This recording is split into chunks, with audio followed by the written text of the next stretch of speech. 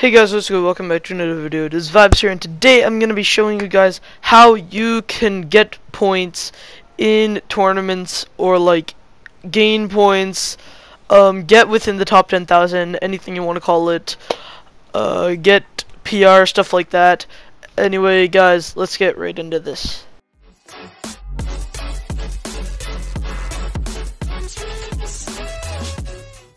Okay guys, so to do well, first thing you gotta do is have a good trio. For example, these are the placements I got with my trio in the Hype Cup. I know you guys are probably thinking, oh, it's not that much, you only got 106 points. But we placed within the top 10,000. That's what I'm trying to show you guys. We got top 10%, which gave us each about a little over 200 hype, which isn't that bad. That actually got me into Division 7. This game um, that you're watching right now is like uh 10 or so games before I got into Division 7, something like that. Uh, this is the day of the Hype Cup. But, so what you're going to want to do, you're going to want to have a good trio. Um, so my trio has pretty good chemistry. That wasn't my like actual trio because my actual trio wasn't playing the tournament, but we had really good chemistry during that tournament. Um, and yeah, and guys, so first thing you have to have a good trio. Now the second thing is you gotta know the scoring.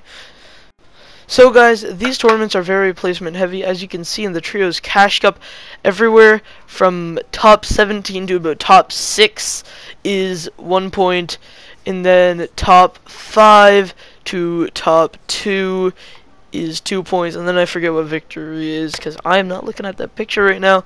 But yeah, so these tournaments are very placement heavy, especially since you only get one um, point per kill. So I would really suggest going as much placement as you can in this tournament. Uh, I showed you the Cash Cup, but the Hype Cup is the exact same if you are not champs. Um, and yeah, so you have to know the scoring, which that is the scoring. It's like pretty simple, pretty easy to follow. Um, nothing too much. So I just suggest really going full out placements because a win is like 25 points. So if you like if you're a trio, you're in top 10, you kill two trios and get the win. That right there is 31 points in a game um, yeah, 31 points in a game. So that is very good. Uh, so th therefore, I would very much suggest going full placement. It will really help you guys.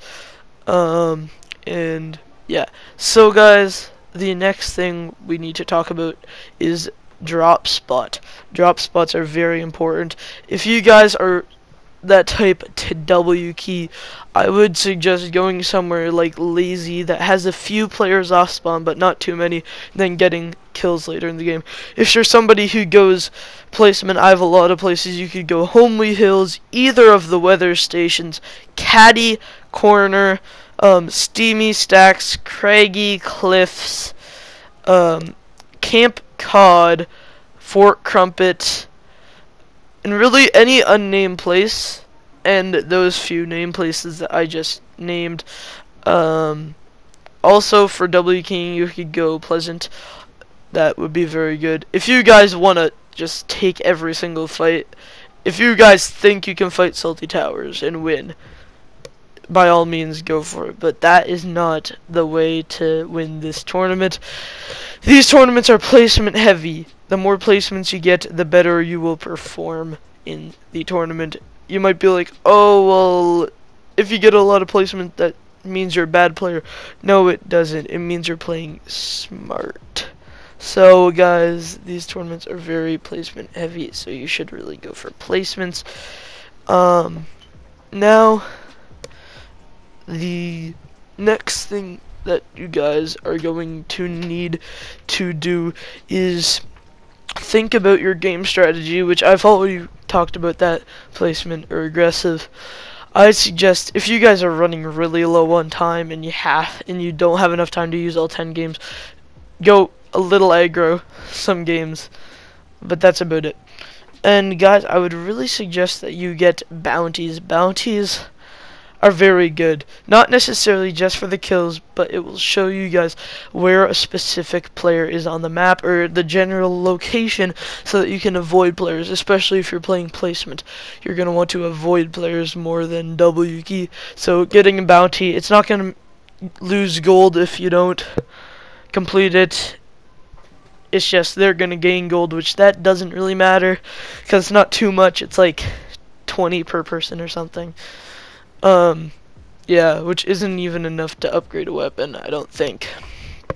So, guys, I'd say that's about all that you need to know. If this video did help you guys, make sure you drop a like and subscribe. Also, if you placed within the top 10,000 in the next tournament, also do that. Um, guys, I hope you did enjoy this video. Make sure to smash the like, subscribe, and I will see you guys in the next one. Peace.